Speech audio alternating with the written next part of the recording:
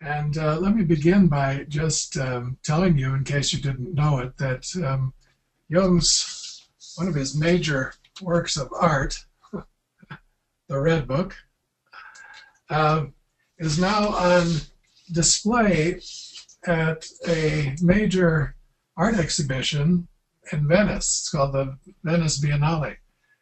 And it takes place every two years in Venice. And um, this year, the curator, young Italian man, curator uh, for the Biennale, um, had an interest in Jung and uh, what uh, he's trying to um, research and, and, and think about and reflect on the sources of art. Where does art come from? Uh, the general view is that art comes from traditions, from uh, basically our conscious world, whether collective consciousness or individual consciousness, that the artist is someone who looks around and uh, is inspired by other artists or the artistic tradition and works from that. And this curator's idea is a Jungian idea, Jung's idea, that is that art, the, source of art is actually not in consciousness, uh, that the wellspring for art is in the unconscious, that there is a kind of instinct for art, if you will. And I want to say a few words about that as by way of introduction. Now, by being shown at the Biennale, Jung is being recognized as an artist. Uh, in fact, a world world class artist uh, and a very important artist, uh, deserving the attention of people who are coming to look at art. And I'm not sure that he would be so happy with this because he didn't want to be known as an artist. Um, he denied many times that he was an artist or that what he was making was art. Uh, he felt it was a kind of temptation off, uh, away from his fundamental profession, which was a physician um, and a psychological theorist, a psychoanalyst. Here he is again at 61 with a trumpet made of a paper in his hand and he would actually play his music. Look at his drawing like on the desk you see in front of him. He would look at his drawing and, and read the music he would say out of his drawing and play it. And actually there are some people who did um, play some music on the basis of his music. And if you go on the uh, on the website and google adolf wölfli in one word dot ch you'll find there a few pieces of music. Quite nice. Um, so that's one of the first pictures I want to show you about the themes. So one big theme is fall, falling, uh, the fall, uh, and punishments and catastrophes, accidents, um, sins, crucifixions, executions, rapes, all of these and also rescues and sometimes being born again and being helped by women. So this one, he said it was death fall of Saint An- uh, Adolf. So you see, you you would think it's a girl falling head down. For him, it was him, and a lot of times he would think of him or depict a child actually. And I think that at this time, young boys would also wear skirts. So at, at least for him, it's clear it's him falling down.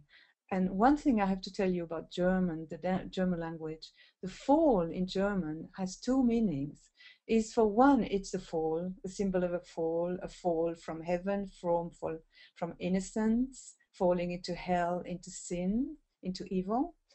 But it's also a case, like a judicial case. So I understand both meanings when you talk about falls. Like the fall could be the case. Mm-hmm. That's another fall. He just said it was fall, but actually you don't see any fall. No, nobody's falling here. Or maybe this little head and in the lower part is falling, could be. But what dominates actually the picture is something wonderfully harmonious, like uh, a music key or a music instrument, even.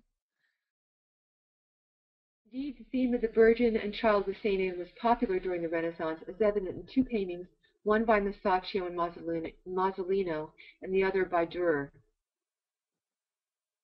So this is uh, Masaccio Masolino. You see Anne in the background, Mary, baby Jesus, very different feel from the Leonardo. And this is done by Dürer. Again, Mary, Anne, and the baby Jesus. And of course, Dürer was the leader of the Northern Renaissance, while Leonardo was kind of seen as the leader of the Southern Renaissance painting. As is well known, Freud took a special interest in the St. Anne painting at the Louvre and wrote a small book called A Childhood Reminiscence of Leonardo da Vinci, using it as a means to analyze Leonardo. He did make cultural historical leaps, but evaluated the painting in relation to what he imagined to be Leonardo's personal psychology. Freud saw in the drapery of the skirts of Anne and Mary, and I think you can, should be able to see that in the white outlining. Um, Freud saw in the drapery of the skirts of Anne and Mary a vulture. This observation he associated with a childhood description by Leonardo of being attacked in infancy by a vulture. He connected the bird image with the Egyptian goddess Mut, who had a vulture's head.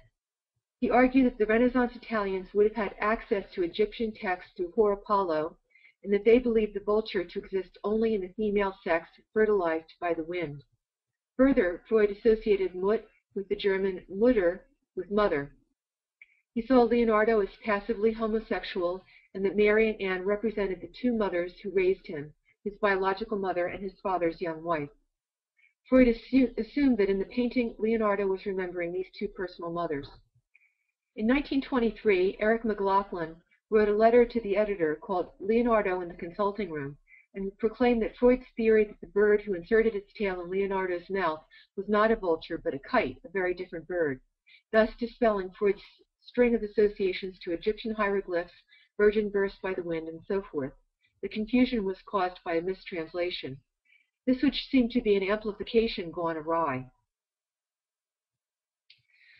So Jung made the following comments in response to Freud's book. He says, interwoven with the apparently personal psychology, there's an interpersonal motif known to us from other fields. This is the motif of the dual mother, an archetype to be found in many variants in the field of mythology and comparative religion, and forming the basis of numerous collective representations. Jung argues that Leonardo was in all probability representing the mythological dual mother motif by no means his own personal prehistory. Further, he asks, what about all the other artists who painted the same theme? Surely not all of them had two mothers.